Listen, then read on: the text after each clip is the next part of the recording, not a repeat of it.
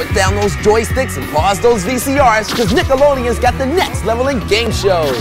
Nick Arcade, next.